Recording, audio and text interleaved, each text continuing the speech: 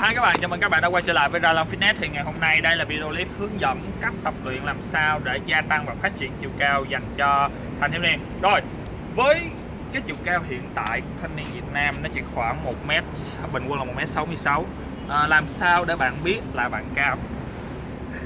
Rồi, khi mà bạn đứng mà xung quanh mọi người tất cả phần lớn mọi người đều thấp hơn bạn thì nghĩa là bạn cao đúng không? Còn nếu mà bạn đứng xung quanh bạn đều bằng mọi người thì nghĩa là bạn chưa cao. Rồi với việc chiều cao bình quân của nam thanh niên Việt Nam là 1m66 nữ là khoảng 1m55 thì nghĩa là nếu bạn cao hơn mức đó khoảng 10 cm là bạn cao hơn 1m75 là bạn đã gọi là cao rồi.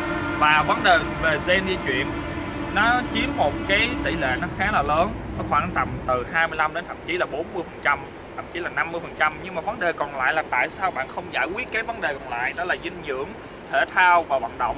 Bạn chỉ có thể lùn đi khi mà bạn không tập thể thao bạn ăn quá nhiều đồ ăn không tốt, dinh dưỡng bạn không tốt, bạn ngủ không đủ giấc. Và thật sự bạn thiếu hụt về dinh dưỡng, bạn không vận động, bạn mới lùn đi. Còn việc mà bạn tập thể thao, bạn tập thể hình, bạn tập gánh tạ hay các bài tập đó, nó không là, làm ảnh hưởng đến việc phát triển chiều cao của bạn. Tại vì cơ bản, cái xương của bạn, nó có độ dài, nó có hai đầu xương như thế này.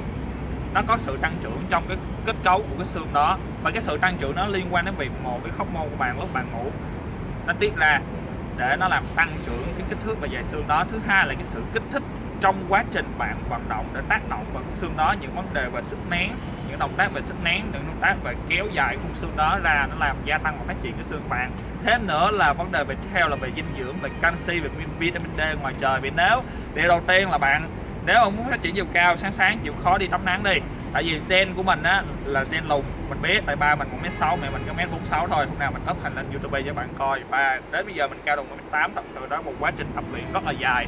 À, cái khoảng thời gian mà mình tăng trưởng chiều cao tốt nhất đó là cái khoảng thời gian mà mình học cấp 3 à, khoảng từ lớp 10 đến lớp 12 lúc đó mình tập thể thao rất nhiều. Lúc đó mình tập gì? Lúc đó mình tập hít đất mình tập đua xà mình tập chơi bóng rổ mình tập bơi và dinh dưỡng của đó khi mình nó rất là tốt. Thật sự lúc đó mỗi ngày mình uống từ một lít rưỡi tới 2 lít sữa, một lít rưỡi tới 2 lít sữa mỗi ngày nha các bạn. Và ngoài trừ việc uống sữa ra, khi đó đang trong giai đoạn phát triển chiều cao, mình ăn rất nhiều thịt, cá, rau.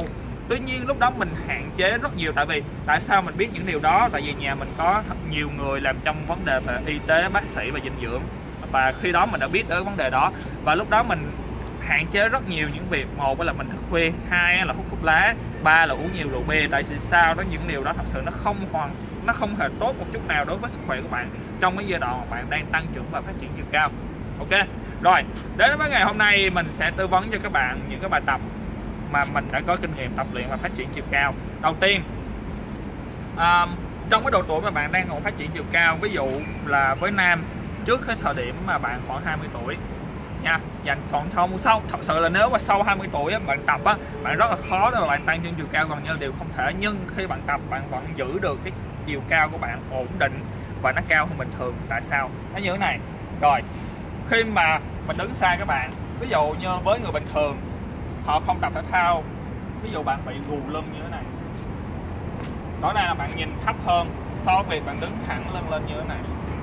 Như vậy đầu tiên là những vấn đề về bài tập khung lưng những bài tập về khung xương và kích thích phần lưng thì bạn có thể tập với những cái bài tập đu xà kéo và hít giữ lên khung xà.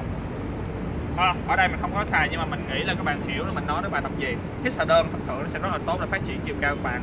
Đồng nghĩa với việc là những bài tập mà kéo cáp kéo lưng hay kéo xô nó phát triển cái xương khung xương kích thích và cái đốt sống lưng và cái phần tay và vai của bạn nó dài ra. Khi bạn dài ra người bạn nó rộng ra nó be ra người bạn nhìn sẽ cao hơn bình thường. Ví dụ như mình đứng gì, bạn sẽ thấy mình, người mình cao và to hơn so với là mình đứng như vậy.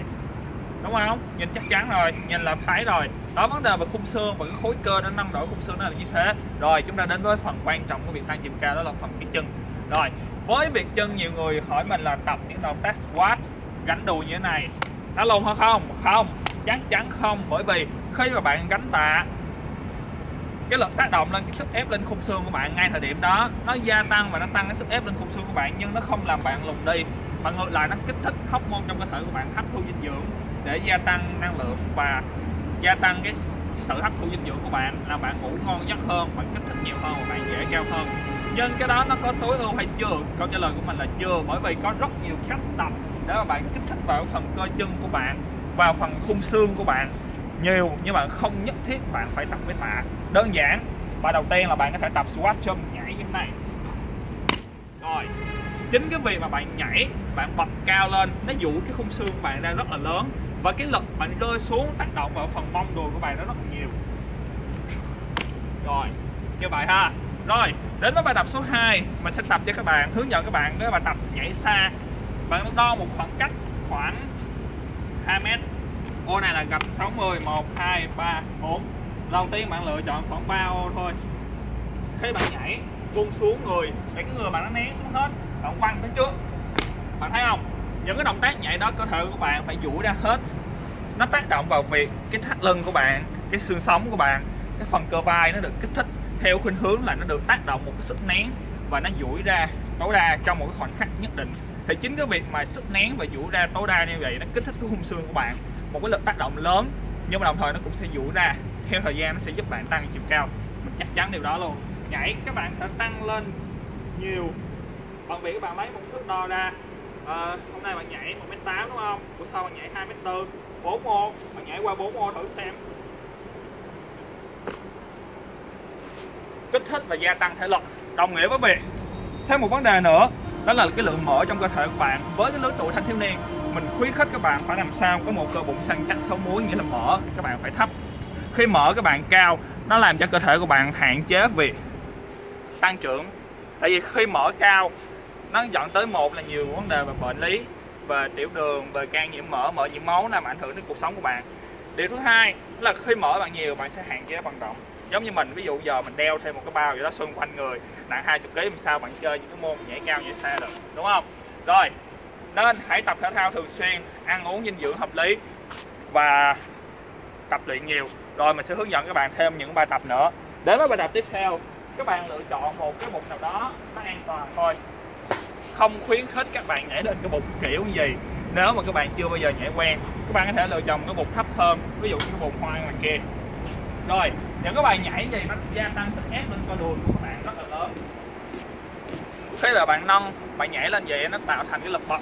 Đầu tiên bạn nhảy áp lên. Rồi với bài tập này bạn có thể tập 3 hiệp mỗi hiệp 10 cái. À, khi nào bạn quen rồi bạn phải thật sự thử thách cơ thể của bạn bằng việc bạn nhảy cao hơn.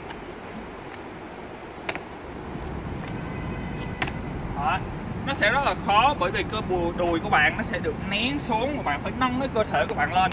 Những bài tập này tốn sức hơn vì bạn tập squat rất là nhiều. Và một cái bài tập nữa là mình khuyến khích các bạn tập những bài tập của môn bóng rổ. Vừa rồi là những cái bài tập mình trong cái bộ môn bóng rổ. Những bài tập tiếp theo các bạn có thể tập đó là nhảy đảo chân như vậy. Nhanh vậy thôi, mệt lắm, không vừa đâu, các bạn thử nhảy đi. 10 cái mỗi bên. Rồi một bài tập nữa là nhảy bài tập với và chạm một vật nào đó ở tầm cao. Các bạn có thể lựa một cành cây hoặc một vị trí nào đó. Bạn lấy thước lên bạn đo, bạn tập bài nhảy bằng với bằng hai tay để bạn đặt để bạn chạm được cái vật đó. Ví dụ như ở đây mình chạm một cái lái trên cao nhất kia nha. Đó. Những bài với gì nó duỗi hết người bạn ra duỗi hết chân và tay, mà đồng thời nó gia tăng sức ép lên cơ bắp đùi nó giúp bạn phát triển cơ bắp đùi, chính cái việc phát triển cơ đùi đó, nó làm kéo dài cái xương cẳng chân của bạn. Kết hợp với dinh dưỡng tốt, bạn sẽ tăng được chiều cao. Ok video clip hướng dẫn đến đây là hết rồi, mình hụt hơi rồi. Rồi khi khác mình sẽ hướng dẫn các bạn tập một cách chi tiết hơn, với những bài tập tăng trưởng chiều cao. Đây chỉ là video demo nói về vấn đề làm sao để bạn có thể tăng được chiều cao khi bạn tập luyện. Và lựa chọn bài tập phù hợp. Rồi, chào tạm biệt, hẹn gặp lại các bạn trong video clip tiếp theo của Đà Lâm Fitness.